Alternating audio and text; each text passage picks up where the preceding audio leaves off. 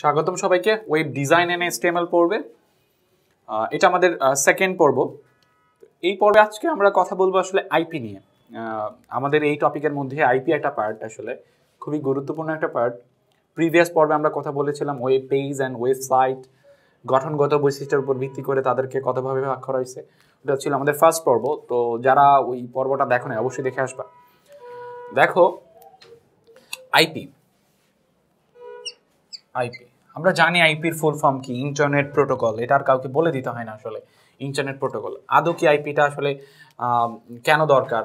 মানে আইপির প্রয়োজন কোথায়? তো এই ব্যাপারে আমরা অনেকে আসলে জানি না যে ইন্টারনেট প্রোটোকলটা দিয়ে কি আসলে কি কাজ করা হয়। এখানে একটা ব্যাপার খেয়াল করে দেখো, আইপি বলার আগে একটা জিনিস বলি তোমাকে। ধরো হচ্ছে, এখানে ধরো অ্যাজ লাইক হচ্ছে কতগুলো ভাষা আছে। ধরো হচ্ছে এখানে একটা বাড়ি আছে একটা ভাষা আছে, তাই না? এখানে ধরো এরকম টাইপের অনেকগুলো বাড়ি আছে পাশাপাশি। তাই না? কোন একটা শহরে দেখো, তুমি শহর চিন্তা করো, এখানে ধরো আমি চিন্তা করি এভাবে অনেকগুলো হাউস এক্সিস্ট করে। তো একটা শহরের মধ্যে এতগুলো হাউসকে হাউস থেকে যে কোনো একটা হাউসকে ধরো যে কোনো একটা বাড়িকে আলাদাভাবে ডিটেক্ট করার জন্য, আলাদাভাবে নির্ধারণ করার জন্য কি দরকার হয় আসলে? একটা অ্যাড্রেস দরকার হয়, তাই না? এমন ধরো এখানে, ধরো আমি এজ লাইক একটা শহরের মধ্যে, এটাও তিনশো পঁয়ষট্টি, এটাও তিনশো পঁয়ষট্টি অ্যাড্রেস কোন একজন লোকের বাসা, ধরো কোন একটা পোস্টম্যান একটা চিঠি নিয়ে আসছে। সে এসে দেখল যে আসলে এখানেও তিনশো পঁয়ষট্টি, এখানেও তিনশো পঁয়ষট্টি। চিঠির গায়েও লেখা তিনশো পঁয়ষট্টি। সে ঠিকঠাক বুঝতে পারবে না আসলে কোথায় চিঠিটা পাঠাবে। তাই না? একটা কনফিউশন সে লিড করবে যে আসলে এই চিঠির ওনার কোন আসলে কোন বাড়ি হবে বা কোন অ্যাড্রেসে সে এই চিঠিটা রেখে যাবে। সে কনফিউজড হয়ে যাবে। আসলে বাস্তবে এই এই কনফিউশনটা দূর করার জন্য কিন্তু আসলে বাড়ির অ্যাড্রেসগুলো আলাদা। যে এক একটা জোনে বাড়ির অ্যাড্রেসগুলো আমরা জানি আলাদা হয়ে থাকে।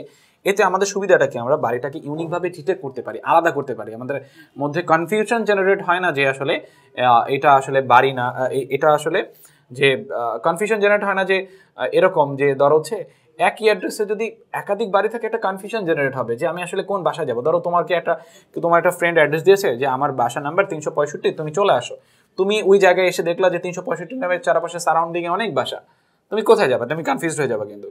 এই জন্য কি করা হয় না? আসলে কখনোই বাড়ির অ্যাড্রেস সেম থাকে না। এতে এদের সমস্যাটা হবে কি? ইউনিকভাবে এটাকে নির্ধারণ করা যাবে না ফাইন্ড আউট করা যাবে না। তো একটা ব্যাপার চিন্তা করে দেখছ নর্মাল বাড়ি এটাকে আমরা একই অ্যাড্রেস হওয়ার কারণে ফাইন্ড আউট করতে পারব না। আর এই জন্য কিন্তু বাড়ি অ্যাড্রেসগুলো আলাদা হয়। তাই না? ইন্টারনেট দুনিয়ায় প্রচুর ইলেকট্রনিক ডিভাইস আছে। তাই না? হিউজ ইলেকট্রনিক ডিভাইস আমরা জানি আসলে। আর প্রত্যেকটা ইলেকট্রনিক ডিভাইসকে আলাদা করার জন্য কি কোনো অ্যাড্রেস দরকার নাই? তাই না? ডেফিনেটলি তাই প্রত্যেকটা ডিভাইসকে আলাদা করার জন্য একটা অ্যাড্রেস দরকার। সেই অ্যাড্রেসটা হচ্ছে আমাদের আইপি অ্যাড্রেস তাই না? তার মানে ইন্টারনেট দুনিয়ায় প্রচুর ইলেকট্রনিক ডিভাইস থাকে। ওই ডিভাইসটাকে ইউনিকভাবে ডিটেক্ট করার জন্য, ইউনিকভাবে নির্ধারণ করার জন্য আমাদের যে অ্যাড্রেসটা আমরা ব্যবহার করি সেটা হচ্ছে আইপি অ্যাড্রেস দেখো, বাজারে একই একই মডেলের অনেক ফোন থাকবে, কিন্তু সব ফোন থেকে একই অ্যাক্টিভিটি চলবে না। মানে একই কাজ হবে না। ধরো তোমার কাছেও ধরো হচ্ছে এসটিসি ডিজিআরআই আরেকজনের কাছে এসটিসি ডিজিআরআই মডেল আছে, তাই না? এখন আমি বোঝাতে চাচ্ছি যে এখানে ধরো এই ফোন থেকে তুমি এই ফোন থেকে ধরো হচ্ছে খুব বড় ধরনের একটা সাইবার ক্রাইম করছ, তাই না? তো তার মানে এই না যে এই, তোমার এই কাজের লাইভলিটি এই ফোন নিবে। দেখতে একরকম হলো কি তোমার এই লাইবিলিটি সে নিবে? কখনই না আসলে। তাহলে এটা কীভাবে সাইবার যারা এগুলো ডিটেক্ট করে, যে তারা কীভাবে ডিটেক্ট করে? যে আসলে কোন ফোন থেকে সমস্যাটা হয়েছে? কে আসলে এই প্রবলেমটা জেনারেট করছে? অকার করছে এই প্রবলেমটা কে আসলে? তো সেটা আমরা আসলে এই আইপি অ্যাড্রেস দ্বারা ডিটেক্ট করি। ফোন দেখতে সেম হলেও দুইটা ফোনের পাশাপাশি আইপি অ্যাড্রেস সেম হবে না, তাই না? তো আইপিকে যদি আমরা এখন ডিফাইন করতে চাই, যে আইপি অ্যাড্রেস কাকে বলে? এই আইপি কাকে বলে, তাই না? আইপি অ্যাড্রেসকে যদি আমরা ডিফাইন করতে চাই যে ইন্টারনেট দুনিয়া, আমরা জানি প্রচুর ইলেকট্রনিক আমি এই জিনিসটাকে একটা সংজ্ঞাকারে বলে দিই। প্রত্যেকটি যন্ত্রেরই একটা নিজস্ব অ্যাড্রেস থাকে, যার সাহায্যে তাকে খুঁজে বের করা সম্ভব, তাই না? ওই নিজস্ব ঠিকানাকে ওই যন্ত্রের আইপি অ্যাড্রেস বলে, তাই না? তার মানে আইপি অ্যাড্রেস কখনো ম্যাচ করবে না। আমি রেগেন বলছি যে প্রত্যেকটা যন্ত্রেরই একটা নিজস্ব অ্যাড্রেস থাকে, যার সাহায্যে তাকে এককভাবে খুঁজে বের করা সম্ভব বা ইউনিকভাবে খুঁজে বের করা সম্ভব ওই নিজস্ব ঠিকানাকে ওই যন্ত্রের আইপি অ্যাড্রেস বলা হয় আসলে। তো অ্যাজ লাইক ধর হচ্ছে আইপি নিয়ে আরও অনেক অনেক সমস্যা অনেকের মধ্যে আছে। তো, এই আইপির দুইটা ভার্সন পাওয়া যায় বা দুইটা ভার্সন আছে আইপির ধরো, একটা আইপিবি খুবই ভ্যালুবল এখান থেকে আমাদের অনেক এমসিকে কোশ্চেন হয়। এটা হচ্ছে আইপিবি ফোর একটা হচ্ছে আইপিবি আইপিবি সিক্স তো আমরা প্রথমত এই আইপিবি ফোর নিয়ে কথা বলব, যে আইপিবি ফোর ফোর মানে internet protocol version four IPv four নিয়ে কথা বলব। তো ইন্টারনেট প্রোটোকল ভার্সন ফোরের একটা আইপি যদি আমি লিখি অ্যাজ লাইক আমি লিখছি, ধর হচ্ছে ইন্টারনেট প্রোটোকল আই ধরো one nine two one six eight zero dot one তাই না? এটা আইপিভি ফোর ভার্সনের একটা আইপি তাই না? এটা দেখো চারটা সেগমেন্টে বিভক্ত। এই যে আইপিভি ফোর মানে চারটা সেগমেন্টে বিভক্ত। একটা সেগমেন্ট এটা একটা সেগমেন্ট এটা একটা সেগমেন্ট এটা একটা সেগমেন্ট চারটা সেগমেন্টে বিভক্ত, এটা কীভাবে বুঝতে পারলাম? এই যে ডট ডট কি করছে? চারটা সেগমেন্টে বিভক্ত করে দিয়েছে। এটা আইপিভি ফোর ভার্সনের একটা আইপি কিন্তু কথা হচ্ছে যে, তাহলে কি যে কেউ যে কোনোভাবে আইপি লিখতে পারবে মানে এখানে আমি হঠাৎ করে ওয়ান নাইন টু লিখলাম ওয়ান সিক্স এইট আবার জিরো লিখলাম, আবার ওয়ান লিখলাম। তাহলে আমি স্বতঃস্ফূর্তভাবে একটা আইপি লিখতে চাই। তাহলে কি আমি যে কোনো একটা চারটা সেগমেন্টে ভাগ করে যে কোনো ডিজিট নিয়ে লিখলে কি একটা রাইট আইপি চলে যা চলে আসবে বা হয়ে যাবে? না, ব্যাপারটা এরকম না। আইপি লেখার জন্য একটা নির্দিষ্ট রুলস অ্যান্ড রেগুলেশন মেনটেন করে লিখতে হবে। আগে বুঝতে হবে যে আইপি কীভাবে লিখতে হয়। তাহলেই তুমি বুঝতে পারবে ওই আইপিটা সঠিক না ভুল। একটা আইপি তোমাকে দিয়ে বলতে পারে যে আইপিটা আসলে উল্লিখিত ধরো অনেকগুলো আইপিও দেওয়া আছে তোমার এমসিকিউর অপশনের মধ্যে, তোমাকে বলতে পারে কোন আইপিটি সঠিক, তাই না? তো এই জিনিসগুলোকে জাস্টিফাই করার জন্য তোমাকে আগে আইপি লেখার নিয়মটা জানতে হবে আইপি কীভাবে লেখে। আচ্ছা আরেকটা জনপ্রিয় কোশ্চেন আসলে, জনপ্রিয় কোশ্চেন এই জন্য বলছে আসলে প্রায় দেখা যায় যে আসে যে আইপিভি ফোর কত বিটের আইপি তো সবাই দাম করে বলে দেয় বত্রিশ বিটের আইপি তাই না? তো আদৌ সে জানে না এটা কেন বত্রিশ বিটের বলা হয়? সবচেয়ে মানে আমাদের আসলে যেই জিনিসটা জানতে হবে, এটা কেন বত্রিশ বিটের আইপি তাহলে সবসময় মাথায় থাকবে আসলে কেন এটা বত্রিশ বিটের আইপি বলা হয়? আচ্ছা একটা ব্যাপার খেয়াল করে দেখো। এই যে ওয়ান নাইন টু এই যে এটা একটা ডেসিমাল নোটেশনে লেখা না? মানে এটা ডেসিমাল ফরম্যাটে কিন্তু লেখা। ওয়ান নাইন টু এটা কোন ফরম্যাটে লিখছি আমি? এটা কিন্তু বাইনারি ফরম্যাটে লিখি নাই। এটাকে ডেসিমাল ফরম্যাটে লিখেছি। আমরা নাম্বার সিস্টেমে কিন্তু ডেসিমাল কি আসলে পরে আসছিলাম? এটা ডেসিমাল ফরম্যাটে লেখা হয়েছে, এটাও ডেসিমাল ফরম্যাটে প্রত্যেকটা প্রত্যেকটা সেগমেন্টে আমি ডেসিমাল ফরম্যাটে লিখেছি, তাই না? কিন্তু কম্পিউটার কি আসলে ডেসিমাল ফরম্যাট বোঝে? না কম্পিউটার আসলে ডেসিমাল ফরম্যাট বোঝে না। তারা কি বুঝে আসলে? বাইনারি ফরম্যাট তাহলে কেন আমি ডেসিমাল ফরম্যাটে লিখলাম আইপিটাকে কারণ দেখো বাইনারির চেয়ে ডেসিমালটা তুলনাভাবে তুলনামূলকভাবে তুমি মনে রাখতে পারবা, সহজে লেখার জন্য একটা গুড অ্যাপ্রোচ হতে পারে। বাইনারিটা লেখা অনেকের জন্য অনেক বেশি কষ্টসাধ্য। এই জন্য আমি আইপিটাকে আসলে এই ডেসিমাল নোটেশনে লিখেছি। তোমাকে যদি বলে এটা ডেসিমাল নোটেশনের আইপি লেখো, তখনও তুমি এরকম একটা ফরম্যাটের আইপি লিখে দেখাতে পারো। তো এখানে একটা কথা বলছি যে, এই যে ওয়ান নাইন টু লিখলাম, আসলে এখানে কয়টা বাইনারি বিট এক্সিস্ট করে? একটু ভালো করে খেয়াল করে দেখো তো। দেখো, আমি আমরা নাম্বার সিস্টেমে এই ধারাটা নিয়ে কথা বলে আসছিলাম যে ওয়ান টু ফোর তারপর হচ্ছে এইট ষোলো, বত্রিশ, চৌষট্টি, তাই না? এভাবে একটা ধারা নিয়ে আমরা কথা বলেছিলাম, তাই না? এটা থেকে এটা দ্বিগুণ, এটা থেকে এটা দ্বিগুণ, এটা থেকে এটা দ্বিগুণ, তাই না? এভাবে দ্বিগুণ হারে এটা বাড়তে থাকবে। তো দেখো, এই ওয়ান নাইন টু লেখার জন্য তোমার কয়টা বিটের প্রয়োজন, তাই না? একটু তারপর এটা কত? একশো আঠাইশ, তাই না? একটু ব্যাপারটা খেয়াল করে দেখো, তুমি যদি one one hundred twenty eight at sixty four এই দুইটা বিটকে অ্যাক্টিভ করো, আর বাকিগুলোকে তুমি যদি অফ করো, তুমি একটু ভালো করে খেয়াল করে দেখো, এই ওয়ান নাইন টু আর এই দুইটাকে সাম করলে দেখো ওয়ান নাইন টু চলে আসে মানে ওয়ান টোয়েন্টি এইট আর সিক্সটি ফোরকে সাম করলে, যোগ করলে দেখবে এটা চলে আসছে আমরা জানি অনেকে এই নিয়মটা, তাই না? যারা এখান থেকে প্রথম পর্ব মানে এখান থেকে দেখব না আসলে। আমাদের নাম্বার সিস্টেমে এটা নিয়ে একটা কথা বলেছে যে এটা কীভাবে ইউজ করতে, এটা থেকে বাইনারি কীভাবে জানতে হয়, তাই না? তো ওইখানে ওই পর্ব থেকে আসলে আমরা দেখে আসতে পারি যে এটা কীভাবে ইউজ করতে হয়। এখানে দেখো ওয়ান নাইন ও sorry one one hundred twenty eight আর সিক্সটি ফোর এদেরকে যদি তুমি যোগ করো, দেখবা যে আসলে এটা পাও। তাই না? তো একটা দেখো, এই যে ওয়ান নাইন টু লেখার জন্য কয়টা বিটের প্রয়োজন হয়েছে? একটু কাউন্ট করো তো। দেখো, দুই, চার, ছয়, আট, তাই না? তার মানে আমি বলতে পারি আসলে এই ওয়ান নাইন টু কয়টা বিটের কম্বিনেশনে তৈরি করা হয়েছে?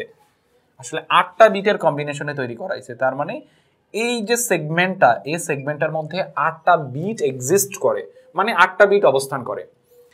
একই কথা, এই যে ওয়ান সিক্স এইট এইটা লেখার জন্য আটটা বিটের কম্বিনেশন ব্যবহার করা হয়েছে। এই যে এখানে তুমি জিরো দেখতে পাচ্ছ, আসলে এখানে জিরো বলতে আসলে বাইনারি ফর্মেট এখানে আসলে আটটা জিরো ডেসিমাল নোটেশনে এটা লেখা হয়েছে একটা জিরো তার মানে এইখানেও one six one sixty eight লিখতে আট বিটের কম্বিনেশন ব্যবহার করা হয়েছে। এখানেও আট বিটের কম্বিনেশন ব্যবহার করা হয়েছে। এই জায়গায় আসলে আট বিটের কম্বিনেশন ব্যবহার করা হয়েছে। তো এই সেগমেন্টও আট বিটের কম্বিনেশন এখানে একটা ওয়ান মানে কি জানো? এটা একটা ডেসিমাল ফরম্যাটে লেখা হয়েছে। এর সামনে আরও সাতটা জিরো আচ্ছা সাতটা জিরো এক, দুই, তিন, চার, পাঁচ, ছয়, সাত। এর সামনে একটা ওয়ান এই এটা আসলে কত বিট এক্সিস্ট করছে? আট বিট এক্সিস্ট করছে। তার মানে হচ্ছে আইপিভি ফোরে প্রত্যেকটা সেগমেন্টে কোনো একটা ডেসিমাল ভ্যালু বাইনারি কয়টা বিটের কম্বিনেশনে তৈরি আসলে? আটটা বিটের কম্বিনেশনে তৈরি। এখানে আটটা বিট ব্যবহার করেছে, এখানে জিরো মানে আটটা জিরো এটা ডেসিমাল নোটেশনে একটা জিরো এখানে আসলে আট বিটের কম্বিনেশন এটা তৈরি করা হয়েছে, আট বিটের কম্বিনেশন তৈরি করা হয়েছে। তার মানে একটা ব্যাপার, তুমি শিওর যে প্রত্যেকটা সেগমেন্টে আট বিটের কম্বিনেশন ব্যবহার করা হয়েছে। আচ্ছা তাহলে দেখো তো, এখানে আট বিট এখানে আট বিট এখানে আট বিট এখানে আট বিট তারপর চারটা সেগমেন্টে চার আটে কত? তার মানে আমরা জানি চার আটে কত? বত্রিশ।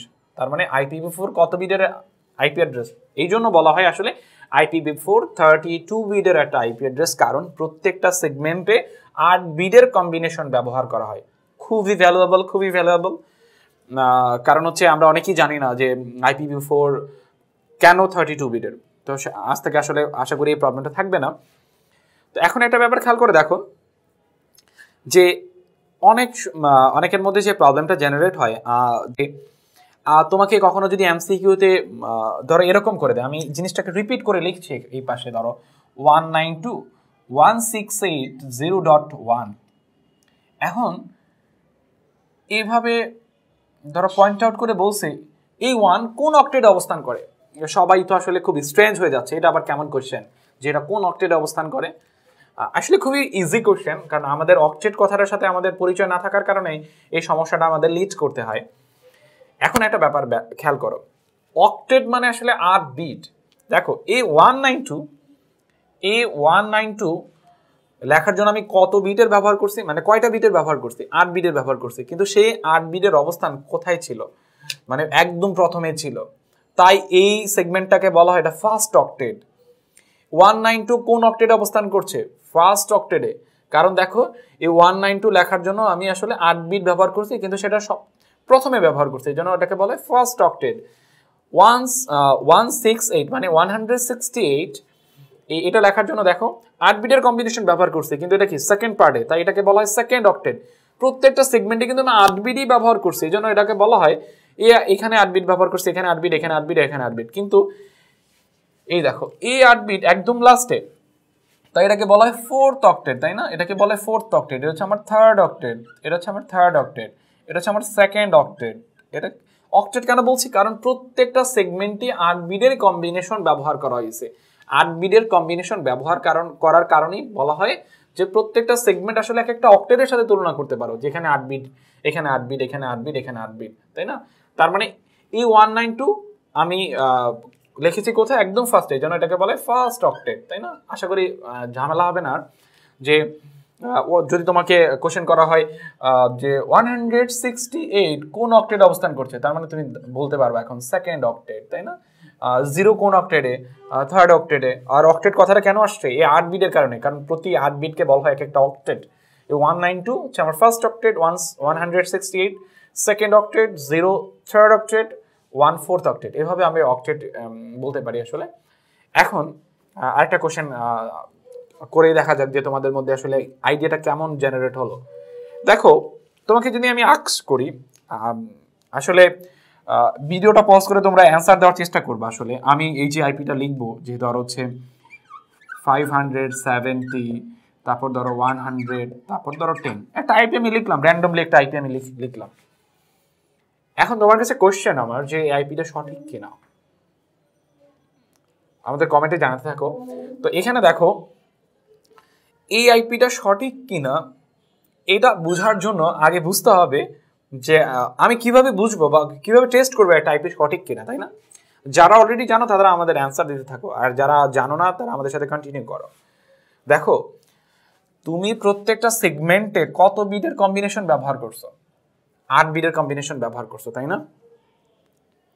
আচ্ছা আট বিটের কম্বিনেশন যদি তুমি ব্যবহার করো, তাহলে হাইস্ট ভ্যালুটা কত হতে পারে? একটু একবার খেয়াল করে দেখেছ? যে হাইস্ট সর্বোচ্চ ভ্যালুটা কত হতে পারে? বুঝেই যাচ্ছে, অনেকেই বুঝতে পারছ। টু ফিফটি ফাইভ কেন? দেখো, তুমি যদি আটটা বিটকে সবগুলো বিটকে যদি তুমি অ্যাক্টিভ করো মানে সবগুলো পজিশনকে যদি অ্যাক্টিভ করো, এই সবগুলো পজিশনকে অ্যাক্টিভ করলে তুমি যোগফল পাবা টু হান্ড্রেড ফিফটি ফাইভ তাই না? তার মানে সবগুলো পজিশনকে অ্যাক্টিভ করলে হাইস্ট ভ্যালুটা আসতে পারবে কত? সর্বোচ্চ আসলে সম্ভব টু হান্ড্রেড টোয়েন্টি ফাইভ তার মানে সর্বনিম্ন সম্ভব জিরো মানে আমি কোনোটাকে অ্যাক্টিভ করব না, এটা হচ্ছে সর্বনিম্ন। আর সবগুলোকে যদি অ্যাক্টিভ করি, সেটা হচ্ছে সর্বোচ্চ। তার মানে আট বিটের সর্বোচ্চ সম্ভব হচ্ছে টু হান্ড্রেড টোয়েন্টি ফাইভ আর সর্বনিম্ন সম্ভব হচ্ছে ভ্যালুটা জিরো কিন্তু একটা ব্যাপার খেয়াল করে দেখো, প্রত্যেকটা অক্টেডে প্রত্যেকটা সেগমেন্টে তুমি যেভাবেই বলো না কেন, প্রত্যেকটা সেগমেন্ট বা প্রত্যেকটা অক্টেডে যদি আমি আট বিট ব্যবহার করতে পারি তাহলে আট বিটে আমি সর্বোচ্চ ভ্যালু কত লিখতে পারব? লিখতে চাইলে টু হান্ড্রেড ফিফটি ফাইভ কিন্তু আমি লিখেছি কত? ফাইভ হান্ড্রেড তো দ্যাটস মিনস আসলে কি বোঝাচ্ছে? যে আসলে এটা একটা রং আইপি এটা কোনো ভ্যালিড আইপি হতে পারে না। ফার্স্ট অফ অল তাকে যদি ভ্যালিড আইপি হতে হয়, তাকে যদি এটা সঠিক আইপি হতে হয়, তাহলে প্রত্যেকটা অক্টেডের ভ্যালু রেঞ্জ অক্টেডের ভ্যালু রেঞ্জ অবশ্যই মাথায় রাখতে হবে অক্টেডের ভ্যালু রেঞ্জ কত হতে হবে? জিরো থেকে টু ফিফটি ফাইভ প্রত্যেকটা অক্টেডে ভ্যালু রেঞ্জ যদি জিরো থেকে টু ফিফটি ফাইভের মধ্যে থাকে, তাহলে সে ভ্যালিড আইপি আদারওয়াইজ সে ভ্যালিড আইপি না। তার মানে দেখো হ্যাঁ আমরা দেখতেছি যে এটা ঠিক আছে। হ্যাঁ এটা এই রেঞ্জকে কভার করে, এটা এই রেঞ্জকে কভার করে, এটা করে। তার মানে এটা করছে না কিন্তু। যে কোনো একটা সেগমেন্ট যদি কভার না করে, সেটা কোনোদিন ভ্যালিড আইপি হতে পারে না। এটা তুমি মেশিনে অ্যাসাইনই করতে পারবে না আসলে। তো সেটা কাজই করবে না। তো ভ্যালিড আইপি হওয়ার জন্য প্রত্যেকটা অক্টেটে ভ্যালু রেঞ্জ এত হওয়া লাগবে। আর এত হওয়া লাগবে কেন? সেটা কিন্তু কোশ্চেন দিয়েছি। কারণ প্রত্যেকটা সেগমেন্টে কত বিট ব্যবহার করা হয়েছে? আটটা বিটের কম্বিনেশন ব্যবহার করা হয়েছে, তাই না? আর একটা কথা বলে রাখি। এই আইপিবি ফোরে তুমি কতগুলো আইপি জেনারেট করতে পারবা? মানে কতগুলো আইপি মেক করতে পারবা? দেখো, আমি কিছুক্ষণ আগে এটা কিন্তু তুমি হিসাব করে বের করে ফেলতে পারো অনেকে, এখনই পারো। যে এই এতক্ষণের আলোচনা থেকে আসলে আশা করি এই জিনিসটা সম্ভব। যাদের পক্ষে সম্ভব না, তারা একটু শুনতে থাকো যে আইপিভি ফোর আমি কিছুক্ষণ আগে বললাম যে আইপি ফোর কত বিটের আইপি অ্যাড্রেস এটা একটা থার্টি টু বিটের আইপি অ্যাড্রেস তাই না?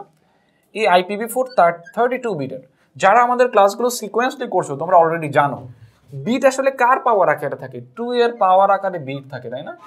তার মানে হচ্ছে, এই two to the power thirty two যে একটা সংখ্যা বা যে একটা নাম্বার তোমাকে দিবে, এটা মানে কি? এটার পরিচয় কি আসলে? এটার পরিচয় হচ্ছে যে তুমি আইপিভি ফোরে বা আইপিভি এই যে আইপিভি ফোর ভার্সনে তুমি এতগুলো আইপি মিশনকে দিতে পারবা, এতগুলো ইউনিক আইপি জেনারেট করতে পারবা two to the power thirty two খুব বিশাল একটা সংখ্যা। তোমরা ক্যালকুলেটর প্রেস করে দেখতে পারো যে আসলে এতগুলো আইপিভি ফোরের এতগুলো আইপি জেনারেট করা সম্ভব, এতগুলো ইউনিক আইপি জেনারেট করা সম্ভব, তাই না? কিন্তু তাহলে আইপিভি সিক্স এর কেন দরকার হয়েছে? আমরা নেক্সট পড়বে আইপিভি সিক্স নিয়ে কথা বলব যে কেন আইপিভি সিক্স আসলো, তাই না? তো এখানে আল্লাহ হাফেজ।